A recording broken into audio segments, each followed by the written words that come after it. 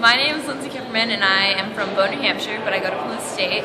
And we should get more funding for this because I've seen a lot of my friends go down the drain with drugs and addiction and stuff like that. And they need help and we need to give them the help that they need.